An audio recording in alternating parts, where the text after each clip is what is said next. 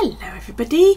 Um, in my September setup um, uh, in my bullet journal, I said that I was having issues um, drawing a circle tracker, and I did a little bit of research, and this seems to be the key. This this this doohickey here.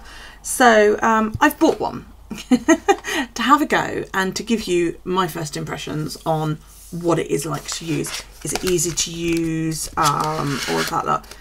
The middle bit spins like so. I do know from watching one video that it also moves slightly. So you have to be careful to make sure that your circles all match.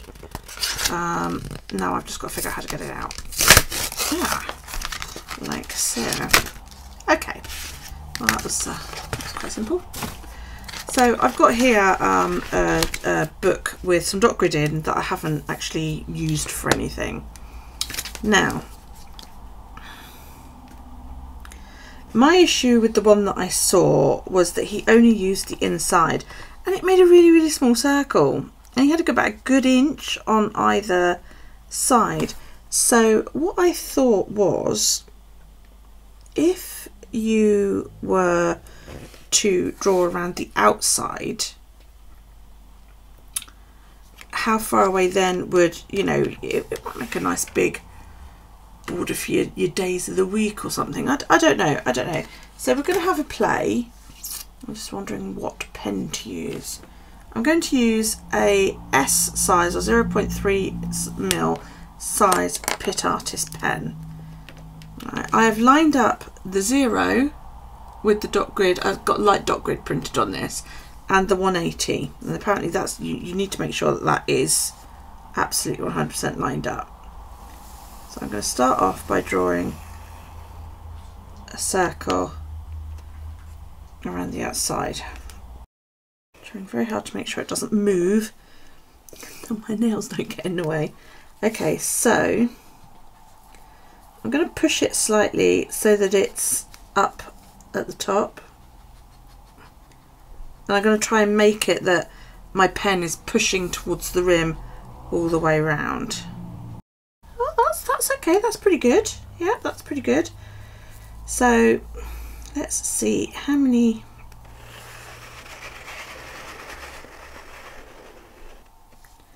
of these we can do. That's the concentric circles. And then you've got these big circles around there. So I don't know how you would make sure that that is in the middle though. So that's what I've got so far. So let's lift this out the way and see what we've got. I see that's a hell of a gap, isn't it? There. I personally would prefer it if if you could draw that, but I suppose I would I would have to maybe use a compass or something. So let's have a look.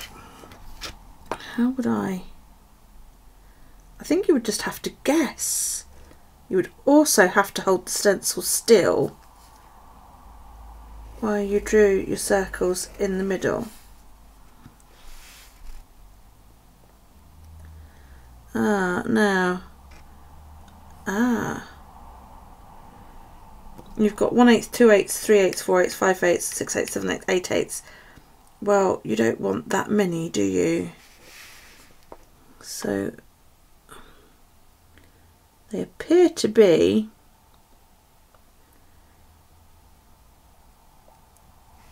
an eighth in. So if I go, that be right? Hang on, let me use their little um, ruler thing. Two eighths of an inch. So I would need six eighths next. I think. if you wanted to go that small. You could go one smaller, but I don't want to go quite that small. So you could go really small on a track. And obviously I, I wouldn't need to go that small. Now, apparently this thing will also draw lines for you, which I probably should have done before uh, moving the thing. Now, you would want to line your arrow up with the zero. But then you've also got the issue that's actually quite a big gap. So I don't think I would do that. I think I would probably get a pencil. And I'll, sh I'll show you for a while. I'll show you using a pencil, okay, because this is about the same. This is a 0.3. You have got a huge gap there. I don't know if you can see that pencil. Hang on, let me show you by doing it. I'll move it up here. Mm, so I'm still in line with the with the thing. But you've got see that bit of pencil there? That's a good two mil wide, which to me that would bug me. That would really, really bug me. Unless you sort of deliberately did it that... Uh, right, so you line up your zero and your 180. You could either do it that you're just going to say, right, well, it will be two mil off, that's fine. Or maybe move it back a couple of degrees, but I wouldn't know how to get that exactly right. So if you did it that is bang on and then stayed one side, you could do it. And then I would do it maybe every 10 degrees. And don't forget you've got the other side as well. You would have to remember to use the other side of that as you, as you went round. Yeah, I mean that that would work. That would work. So let, let's do it with with the with the pen. Let's say sod it and jump straight in, shall we? I mean, if I didn't uh, keep this outer side bit, I would be, I would use that bit for days and then I'd be able to track one, two, three, four, five, six, seven, eight, nine, ten, eleven, twelve. The line runs out on this circle here. So the two eighths and the four eighths are kind of a bit pointless if you want the straight lines. Okay, so let's line this up like so.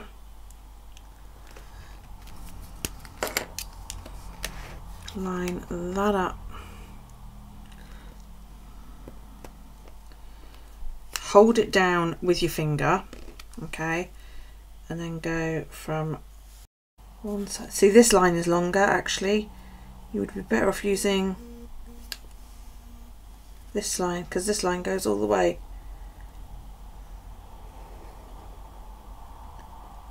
all the way to the middle that line goes and then line it up every 10 degrees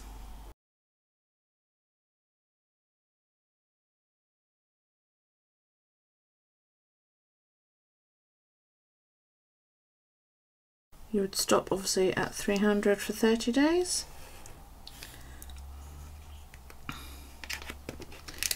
to then give you this lovely amount of space to write in whatever um, as you can see, there's no point in having that smaller circle there. What was that? That was 2 eighths, wasn't it?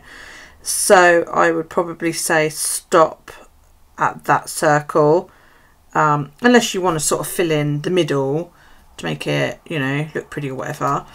And um, yeah, there's one slightly longer line and one slightly shorter line that line there was where I realised that that was longer and it obviously wasn't in position. So you would then have to, if you wanted to extend it, um, line it up and do it with a ruler yourself. If you wanted to do that, you know, um, which if you wanted to decorate it you could I suppose all the way around whatever so I think comfortably that would give you what 1 2 3 4 5 6 7 8 10 11 12 13 14 things to track well, that's not bad is it that's not bad at all The only way you could add in more circles was if you were willing to use a compass, I think. Um, I don't have anything else to hand. I have circle stencils and that, but they don't go up to that big. Um, if you were willing to use a compass, then you could work out the um, distance required between the the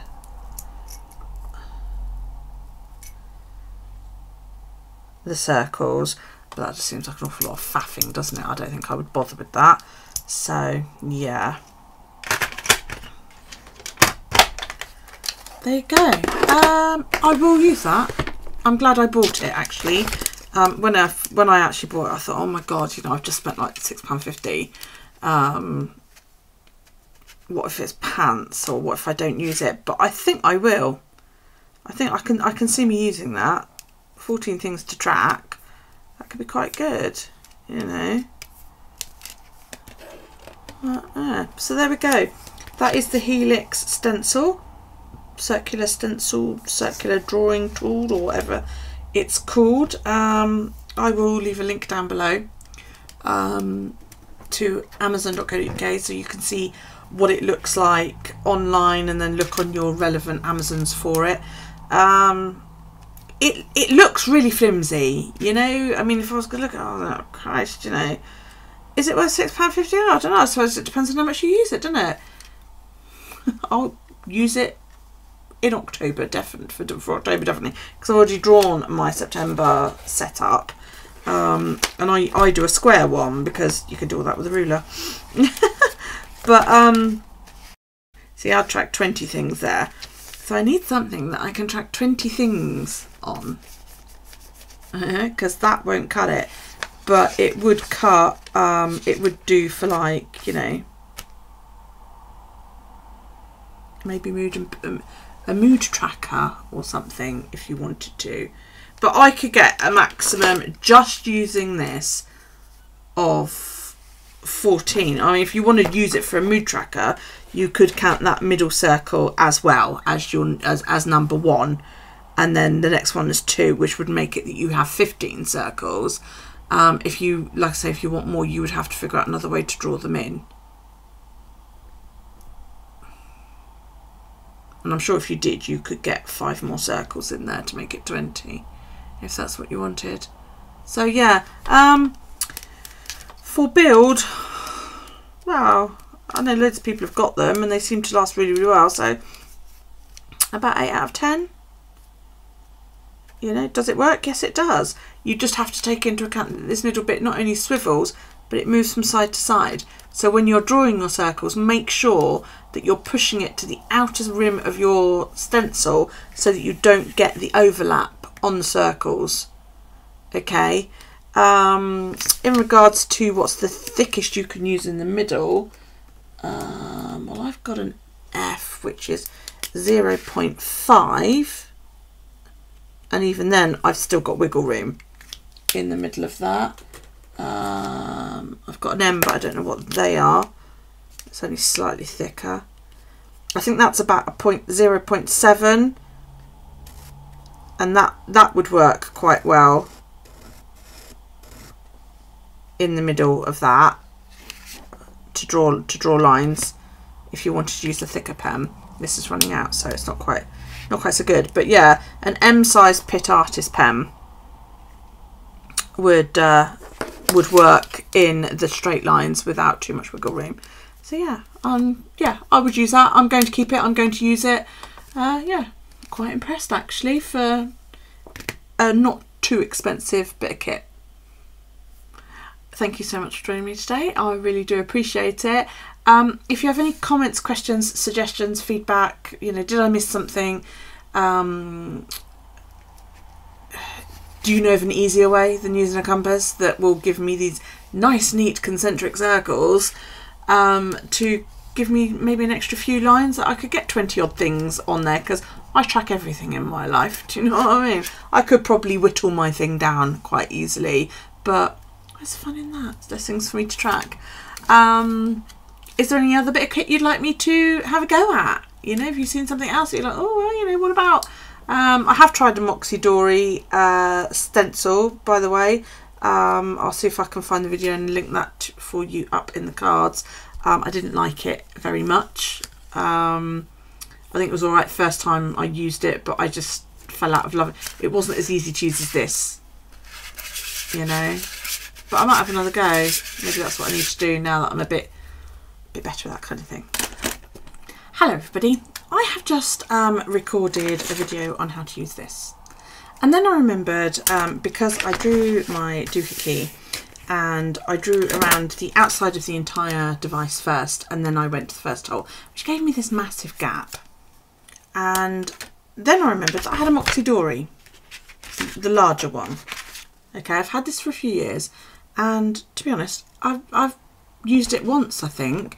So I thought I would give it another go because last time I used it, I wasn't that impressed. So I'm going to give it another go. All right. Now, you need a paper clip for the middle of it. This is what annoyed me a bit. I've already marked with a little black dot the middle of my um my uh, page. Okay.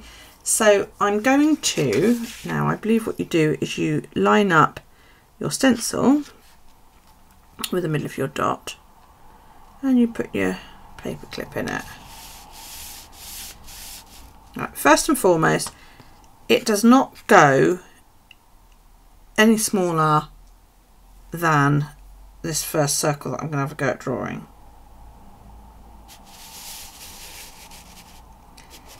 It also doesn't move very um, smoothly.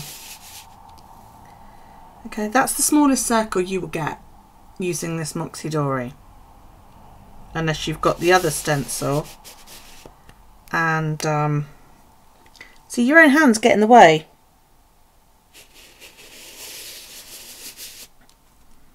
That's what I'm not in love with about it. If you angle your paperclip, it's going to affect your circles. Okay. Which sucks, quite frankly. I'll be honest, the hand holding the paperclip hurts. I'm drawing all over this in an effort to try and find the hole. Yeah, see, it lifts. It's good in that it draws um, a bigger circle than the helix. I've still got one, two, three, four, five, six, seven, eight, eleven circles, which will take me up to, just out of, you know, if you're curious, it would take me up to that big. Which means that I could do a lot more, um, um, I could track a lot more things. Sorry, my mind went blank then. But it's messy you know, when you're trying to find, when you're reaching round because you're holding this fucking paper clip, it's, look, it's really, and there, it doesn't even meet up because you lean the paper clip and it pulls the stencil out of the way. So, while that maybe does bigger circles, that looks neater. So I think I would stick with the helix if I'm if I'm going if I'm comparing the two the the Moxidori stencil and the Helix, I think I would stay with the Helix. I mean, you know, judge for yourself. If you're if you're not bothered by um, um, they give you an instruction sheet on how to use it. The other thing as well is that this has, I mean, this has the the little notches in it then it gives you one, two, three, four, five, six, seven, eight, nine. Um, you then have to either use a ruler or the straight edge of the stencil to do your lines, whereas at least the Helix does the lines for you. So, you know, it really comes down to if you don't mind that this might happen, then yeah, by all means get one of these. You can track a shit more stuff than, than what you can with the Helix but I don't like how messy it is. That that bugs me.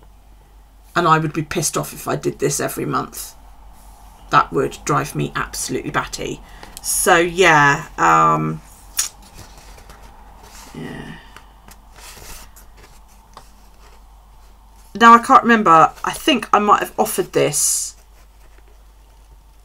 to April and then promptly forgot to send it to her. April, if I did, could you let me know in the comments down below? If I didn't, is there anybody who would be interested in this? And I would happily send it to you. It will not cost me much to post. It's, you know, I think my issue with it is it's thin, you know. It's really, really thin. It's a very clever idea, but it's thin and it moves too much. I just don't. This, at least, you can hold it down. There's something there to give you stability. You don't get that with this.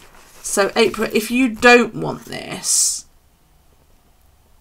let me know down below. And if anybody else might be interested in this, you know what? Chuck your names down below. And if I get more than one person that wants it, if I haven't already offered it to April, then um, I'll pull names out of a hat. If you want it, let me know. So there we go. Thank you so, so much for joining me today. I really do appreciate it. Any comments, questions, suggestions, feedback, anything like that, please do leave it down below. Um, every comment gets a like, a love, or a written response. Uh, please feel free to give me a thumbs up. I really, really do appreciate thumbs ups on my channel because they're great. Uh, if you click the book down in the bottom right hand corner of this screen, you will be subscribed. And if you hit the bell, you'll then be notified when I upload new content. Thank you for joining me today. I really do appreciate it. Have a fantastic rest of your day, and I'll see you next time. Take it easy, guys. Bye.